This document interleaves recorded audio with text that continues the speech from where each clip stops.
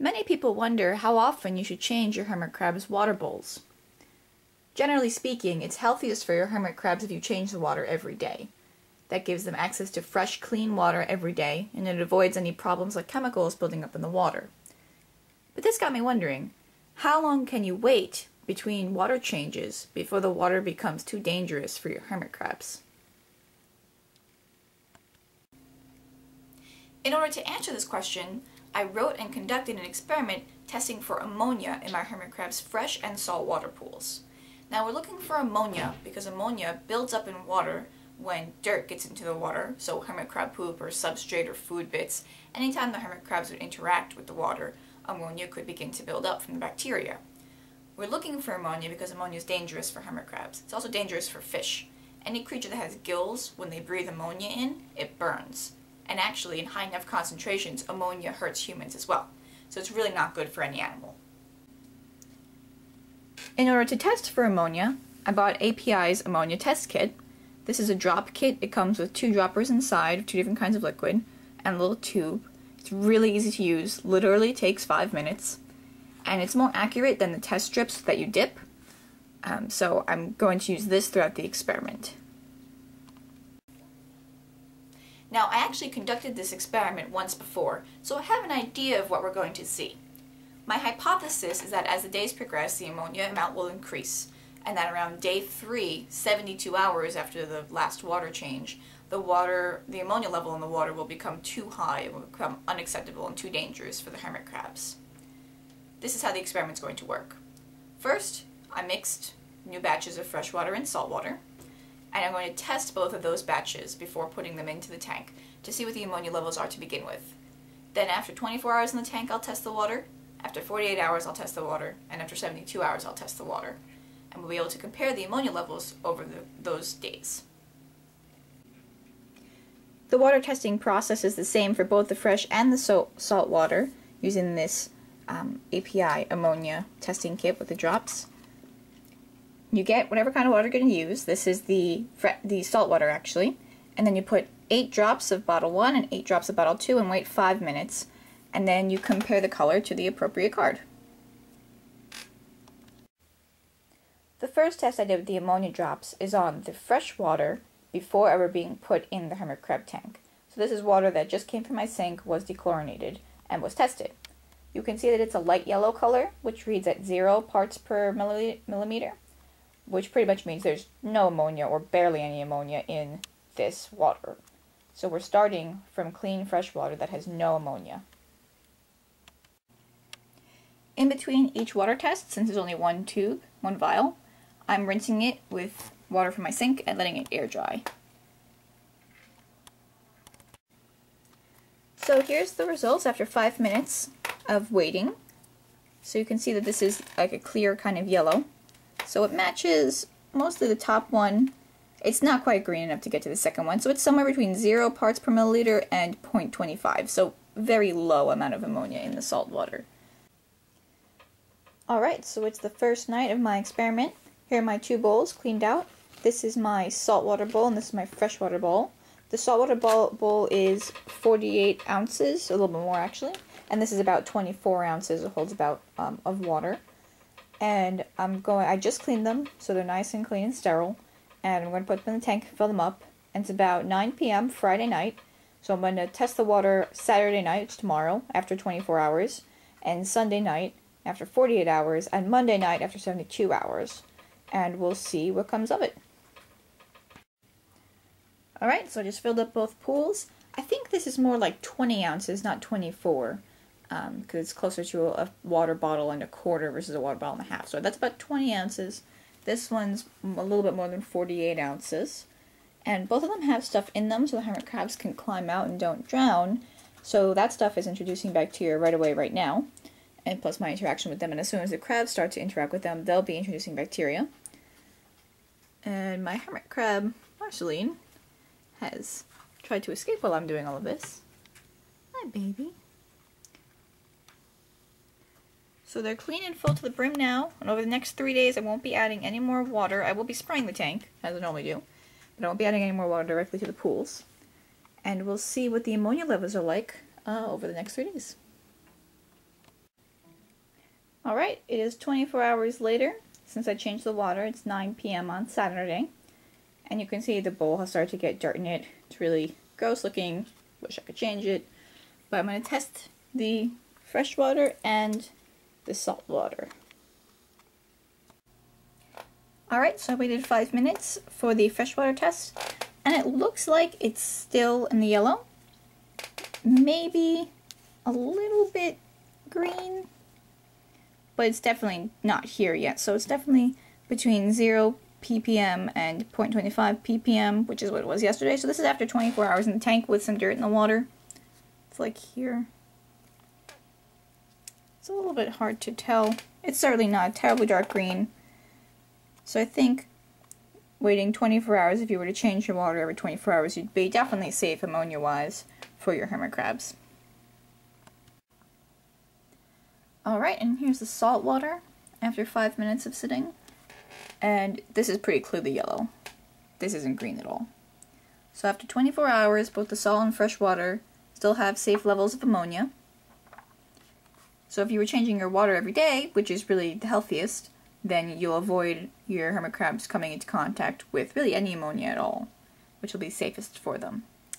So we'll see what happens in another 24 hours, 48 hours after the water was first put in. Okay, it's been 48 hours since the last water change. You can see the water has gotten dirtier and they've dumped more poop in there. And the salt water over here has evaporated down quite a bit. Um, but it's still deep enough and they can reach in everything. So I'm going to do a test and see where we're at with the ammonia. Here are the results after 48 hours for the fresh water. So it actually isn't that terrible. It's higher than yesterday, definitely. This looks like it's more in between 0.25 and 0.5, but it's definitely not green enough to be 1 part per milliliter, so it's somewhere around 0.25 and 0.5. So definitely more than yesterday, but not huge amounts. Again, ammonia is not great to have in your tank if you can change the water every day, do.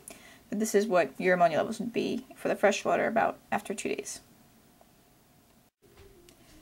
Alright, and here are the results of the salt water after 24 hours. So it looks pretty similar to what the fresh water is. This looks like it's about between 0.25 and 0.5. It's definitely not at 0.1 yet, so it's definitely somewhere up here. So that's actually exactly the same as we saw with the freshwater, even though the saltwater pool is more than twice the size of the freshwater pool, which is interesting. So that's after 48 hours. Alright, it's been 72 hours since the last water change. So that's the freshwater. See, they dumped a shell in there, quite a lot of dirt. And the salt water, pretty much looking the same. I think they put more dirt in there as well. And we're going to test it and see where the ammonia is at. Here are the results after 72 hours for the fresh water. And you can see that the green is between 0.5 and 0.1 ppm. So this is too high. We don't want the ammonia to be too high. It's not, again, it's not good to have any ammonia in there. So I'm actually surprised it's this low. I was expecting it to be more between 1 and 2 after 3 days. But um, it only seems, it only looks like it's between 0.5 and 1. I don't think it's up to the 2 level yet. It's not that dark. So that's after 72 hours for the fresh water. And here's the, the saltwater results for the ammonia. And this one seems darker. This one seems to be more, definitely at 1. I think it's definitely dark enough to be at 1 ppm.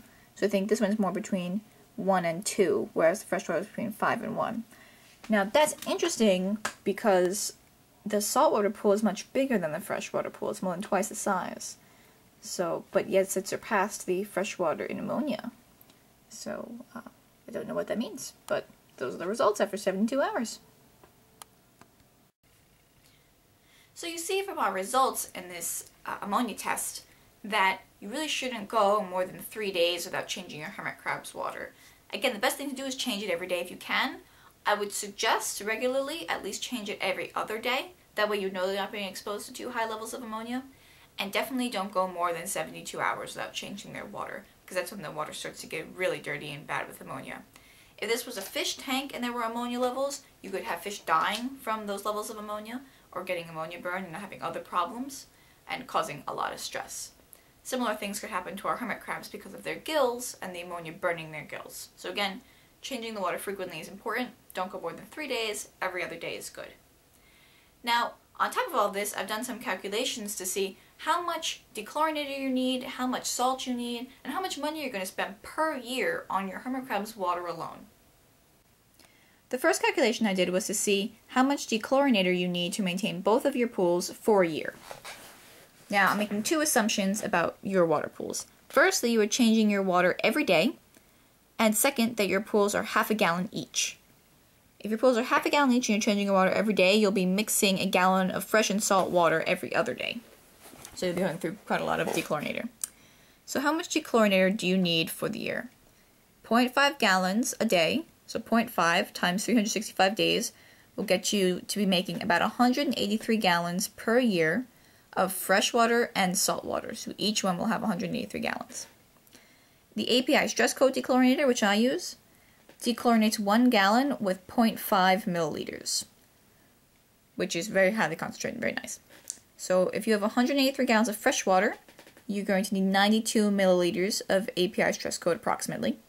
If you have 183 gallons of salt water, you'll need 92 milliliters of API stress coat approximately. So 92 plus 92 is 184 milliliters per year. So API stress coat, that's 8 ounces, is 236 milliliters, is $8. So 236 milliliters is more than the 184 that you need for the year. So for the year, to dechlorinate both your fresh and salt water, you're only going to be spending $8. And that's the PetSmart price. So that's pretty good. And for your fresh water, that's all you're going to need. Besides needing to know dechlorinator amount, we also need to know how much salt you need for the saltwater pool. So again, we're assuming that you're changing your water every day and that you're using half gallon pool. So you have a half gallon of salt water every day. So how much Instant Ocean do you need for the year? So half a cup of Instant Ocean makes one gallon of salt water. If you're using a half gallon day, you'll be using a quarter cup of Instant Ocean per day making 183 gallons of salt water per year, as we figured out before. 183 gallons equals 183 half cups, which is about 92 cups per year. So Instant Ocean comes in different size amounts. The biggest one is 160 gallons worth. It's like a tub of Instant Ocean. It's a huge tub of salt. So 160 gallons worth of Instant Ocean is 80 cups of salt, and it costs $53 at PetSmart but that's not quite enough. We need about 92 cups per year, and that only is 80 cups. So to make the rest of the year, we need another 25 gallons worth of Instant Ocean. 25 gallons is 12.5 cups, and that's $18. So 160 gallons worth plus 25 gallons worth, it's 185 gallons worth of Instant Ocean. That's 92.5 cups. That's uh, just about what we need for the year. $53 plus $18, $71 per year on salt. Now, if you add that to the amount you need for the dechlorinator, which was $8, per year you're spending about $80. That's if you're changing your water every day and if your water pools are half a gallon each. So there you have it. Those are the results of the ammonia test I did on my hermit crab's water. Now, this is the second time I've carried out this test, but it's only the first time I've done it with the salt water. So it's still in the hypothesis stage in order to really get down a con concrete facts about this, I'm going to have to conduct this experiment more. It'll also be useful if other people are able to conduct this experiment. You saw how I did it, it's very easy, the ammonia drops are cheap too. So if you can conduct this experiment, please do, and post the results either in the comments or make your own YouTube video about it and link it here. That way we can really start to get more knowledge about hermit crabs in their water and what they need in their habitats to survive and to thrive. My name is Caroline. Thank you for joining us here at Yadokari Nation, and good luck with your hermit crabs.